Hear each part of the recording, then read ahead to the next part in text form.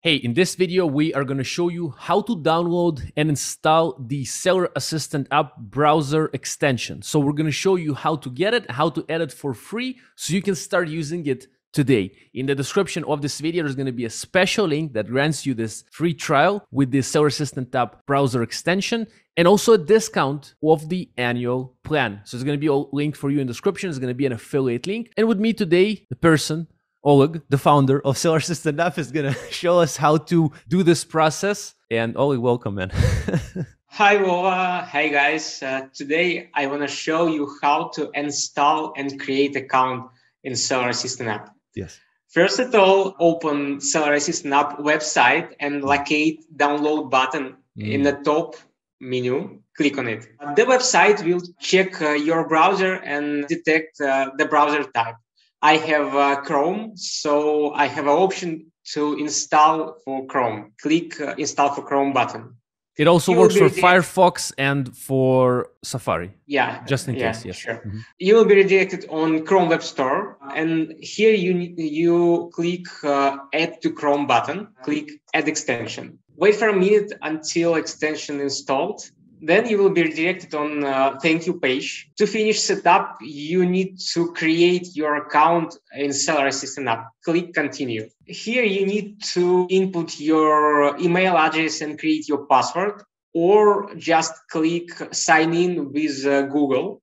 And uh, here your uh, onboarding page. As you can see, I already passed onboarding because of I have an account here. Uh, it's my service, so I'm very first user but uh, you will need to connect your your amazon seller account connect your google sheets for data expert. By the way you can skip uh, both of these steps.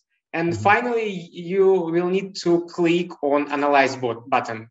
Mm-hmm. analyze button follows you to amazon product page where seller assistant app widget will appear right on product page next to product title. That's it. And where else does it appear Oleg, except uh, for this area? The extension will appear uh, here in the puzzle uh, where you can uh, pin Assistant App uh, icon. You can see Seller mm. Uh, have three widgets, which first one right here on Amazon product page. Second one appears on Amazon search pages. Let's locate it.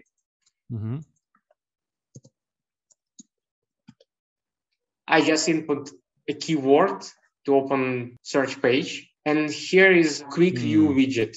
The last place where you can find your widget is uh, inventory page. I won't show that on my uh, Amazon seller account because of security concerns, but uh, you can locate it by yourself it's on our Amazon Seller Central, inside the Seller Central. Yeah, it's inside in Seller Central uh, on inventory page. If, if you analyze products and uh, leave some marks about products, uh, you can see these marks on your Seller Central inventory. Perfect. In the description, we're going to have a link to get the Seller Assistant app browser extension for completely free with a special free trial, as well as a discount that grants you $20 off your annual plan. On the screen here, and as well as in the description, as you prefer, we have a full tutorial and review, which is about an hour, that shows you how to use Seller Assistant app from A to Z. So either click on it right now here on the screen to learn more, or in the description. And I wish you a great day. Oleg, thank you, man, for the step by step explanation today. Thank you, Ola. Have a good day. Bye.